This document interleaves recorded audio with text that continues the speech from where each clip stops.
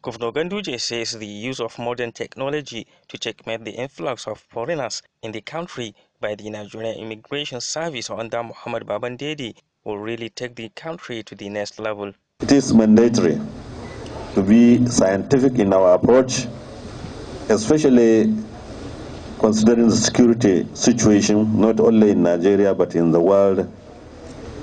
So there's no better time to take stock of those non-Nigerians who are coming into Kano.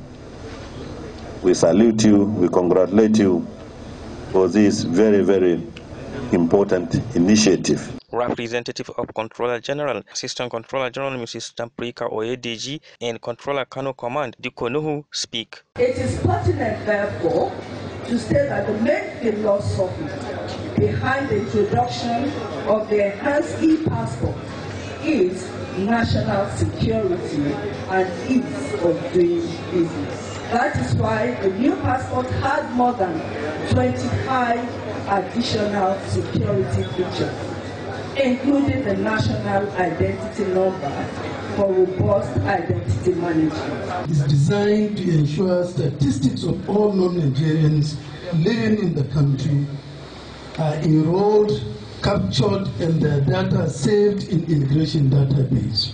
The objective of the migrant e-registration is to give guidelines for necessary information and requirements for migrants residing in Nigeria to be properly documented in line with global best practices. Muhammad Adamu, AIT News Kano.